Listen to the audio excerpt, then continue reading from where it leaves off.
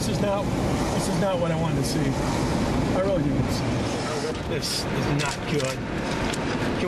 La tornade qui a frappé l'État de l'Oklahoma ces dernières heures a été d'une brutalité rare. À l'heure actuelle, les recherches continuent toujours sur les quelques kilomètres carrés entièrement rasés par la tempête.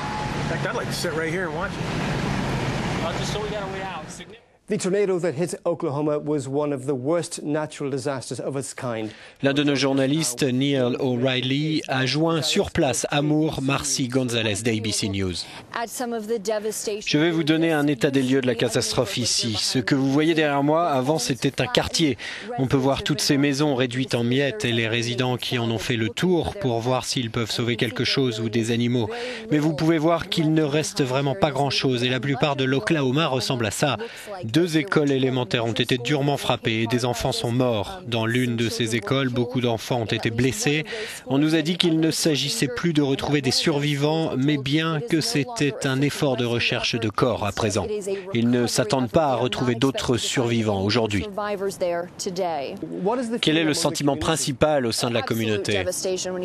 Eh bien, c'est un désastre absolu. Quand vous pensez au nombre de vies perdues et spécialement celles des enfants, il est vraiment difficile d'expliquer le niveau de tristesse ici. Et c'est une communauté qui a déjà traversé quelque chose de semblable dans le passé.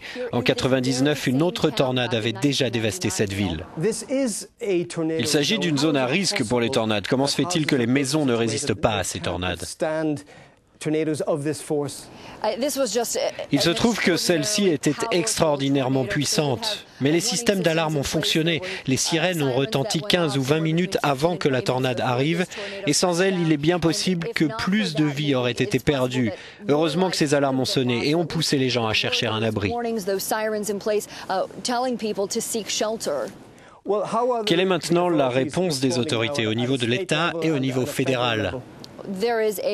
La réponse est impressionnante. Sur le terrain, ici, nous avons vu à tous les niveaux, du local à l'État, des gens venir aider.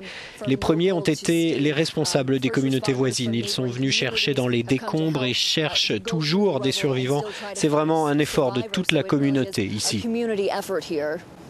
A-t-on des chances de retrouver encore quelqu'un de vivant Comme je l'ai dit au sujet de l'école, c'est vraiment un effort de recherche de corps. Ils n'ont plus d'espoir de retrouver des survivants. Mais je dirais qu'ils n'ont pas perdu tout espoir. Il y a toujours des gens qui font des rondes et écoutent si quelqu'un appelle dessous les décombres. Et il y a des gens qui cherchent toujours leurs animaux domestiques en espérant les retrouver en vie. Eh bien, merci à vous pour toutes ces informations. Merci. Thank you.